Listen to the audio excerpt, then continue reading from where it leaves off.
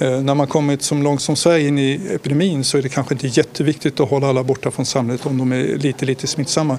Utan framförallt är det jätteviktigt att vi ser till att smittan inte kommer in i vår sjukvård eller in på våra äldreboenden. Det blir det som blir fokus, inte exakt hålla varenda person som möjligen kan bära på smittan borta från samhället.